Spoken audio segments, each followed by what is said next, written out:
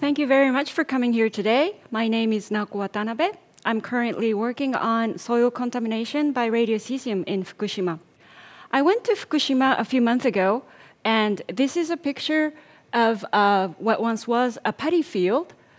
And um, people have evacuated the area, and the, no rice has been planted in this field since the accident at Fukushima Daiichi nuclear power plant. Today, I'm going to talk about an educational program we did, uh, field training in the affected area of Fukushima Prefecture. We took undergraduate and graduate students to a field in Iitate village in Fukushima Prefecture to work on their own small decontamination project in some parts of the park. This is a map of the Iitate village. Um, you can see that the plume moved in that direction, and Iitate village is located right there. And uh, it's mostly in restricted habitation area, and people do not live there right now. And decontamination is currently being undertaken systematically. So before going to the field, the students took classes and labs to prepare to work in the field. They also learned about decontamination and commonly uh, employed method for decontamination is to remove the surface that uh, radiocesium is stuck. So after a series of lectures and lab sessions, finally the students arrived in the field site. And this is the aerial photo of the park. There is an irrigation, agricultural irrigation pond, and the tennis courts, and some forest with hiking trails.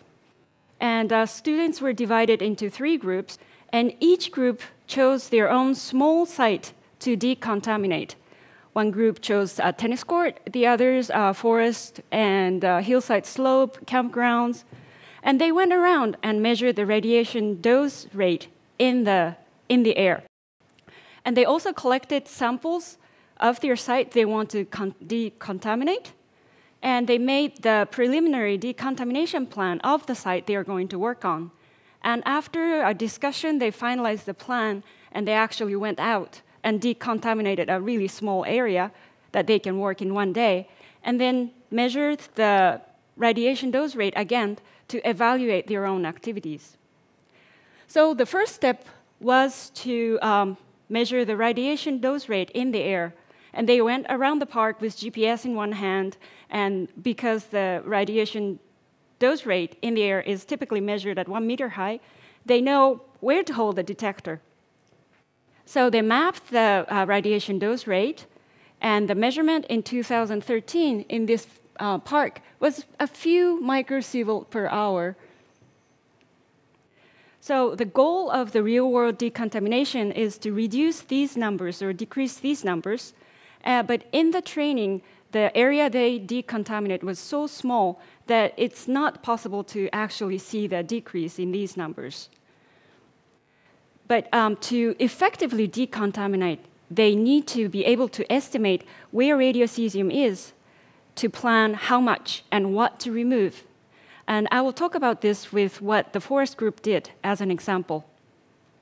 They decided to compare between deciduous and coniferous trees and they chose chestnut and pine trees for their target. They collected leaves and branches and barks.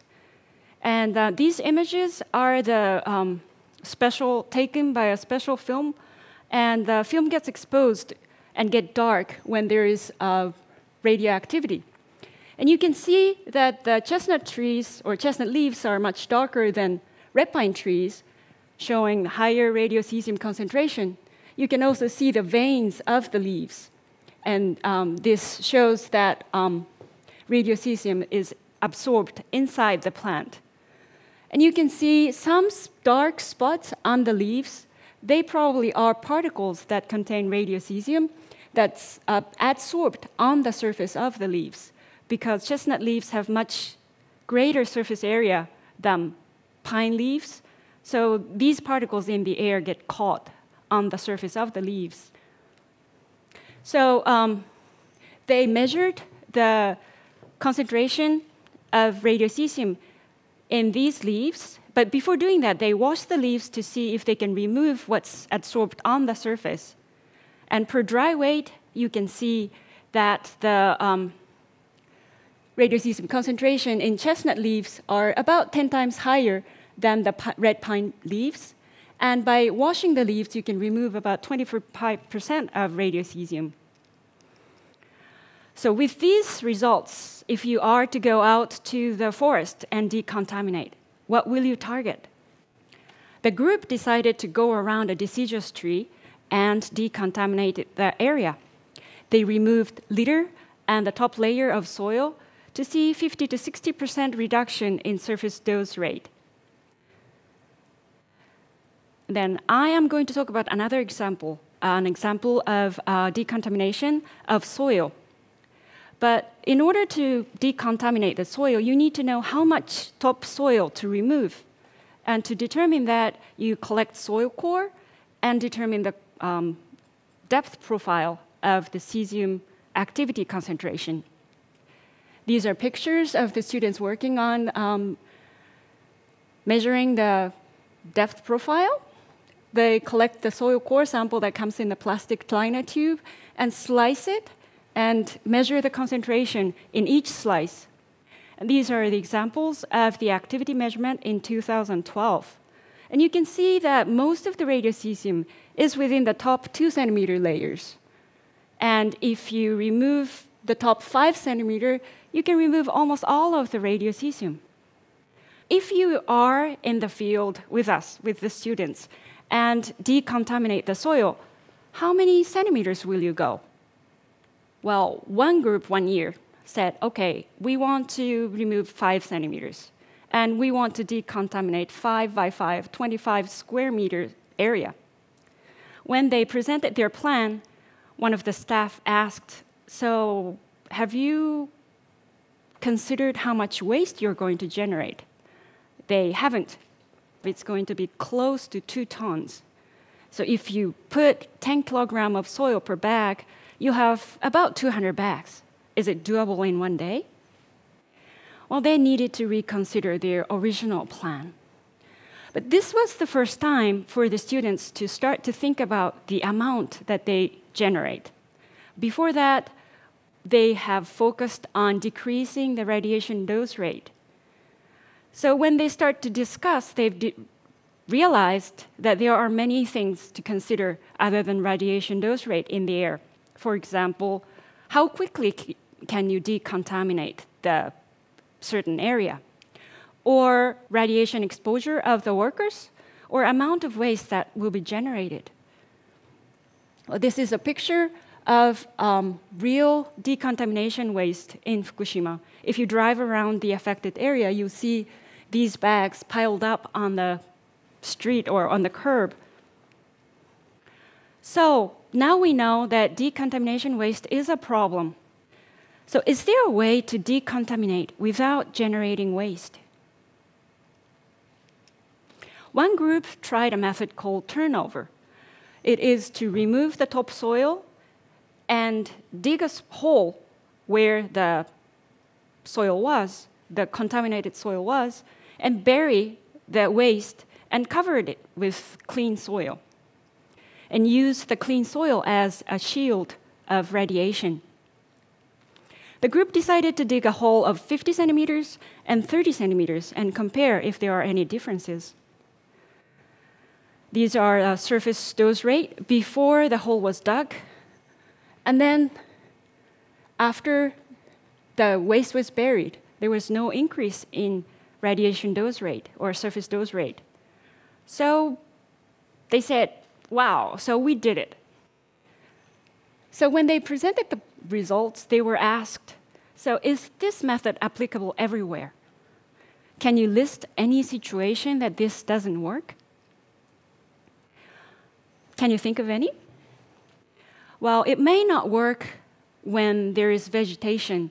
If the root's active where the cesium is buried, the roots may take up the cesium again above ground.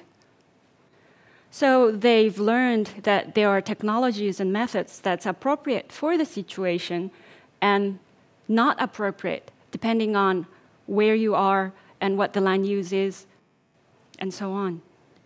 So um, now I think I should talk about who we are who organized this field training.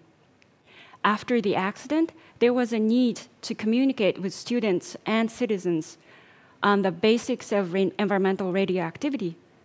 There also was a need to train experts in the field of environmental remediation to work in Fukushima. To um, respond to those needs, Hokkaido University started a capacity building project, which is multidisciplinary across multiple institutions. Many researchers from these participating institutions work together to create lectures and experiments, courses on environmental radioactivity. And part of these lectures will be offered through MOOC, massive open online course, soon, and we're so excited about it. And uh, this field training course was also a team effort. And the goal of this effort, or the kind of experts we wanted the students to be, was someone who can apply the knowledge in the real situations and can consider the consequences of one action, both pros and cons. And in order to do that, their knowledge need to be uh, based on strong scientific basis not just a series of facts memorized. And they need to be able to see the situations they're dealing with through the data they collect. I'm hoping this training has opened their eyes and they realized that the answer often depends on the situation. Just like some of the global issues may be similar to this, that um, they may need to choose a best practical and best available solution that is appropriate for the situation. And there's not one single solution that is applicable everywhere in any situation. And the experience of learning in the field is one good way to challenge yourself and apply what you have learned in classrooms to the real world problems. Thank you.